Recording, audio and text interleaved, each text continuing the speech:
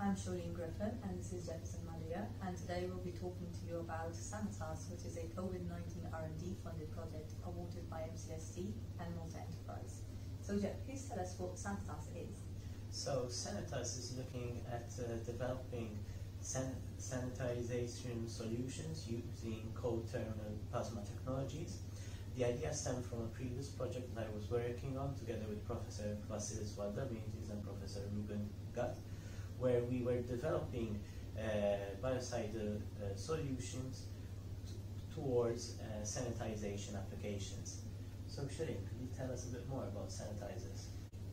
The European Union defines sanitizers as biocidal agents in European normatives, which outline a specific log reduction in bacteria, fungi, and viruses for a specific contact time. So, for example, a for a uh, hand sanitizer, this would be a 30 second contact time and uh, a log reduction of 4 in viral load, for example.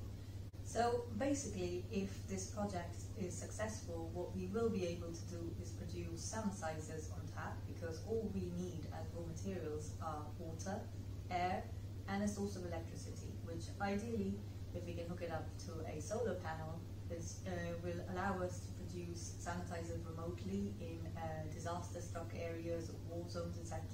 So I feel that this project not only addresses the pandemic situation, but also uh, will be valuable for humanitarian causes.